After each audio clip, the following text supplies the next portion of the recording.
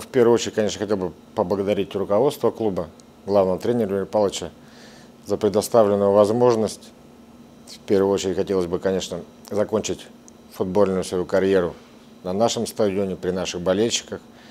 И чтобы это был не просто какой-то там матч ветеранов футбола, а официальный матч чемпионата России.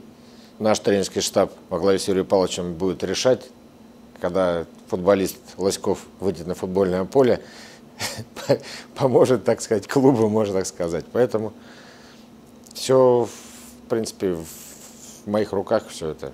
Был такой, можно сказать, большой период вне футбола.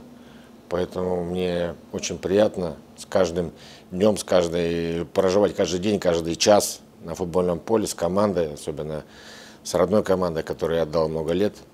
Футбол – это борьба.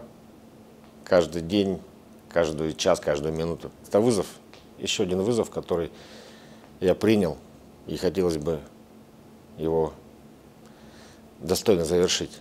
Поэтому приятные, приятные чувства испытываю сейчас.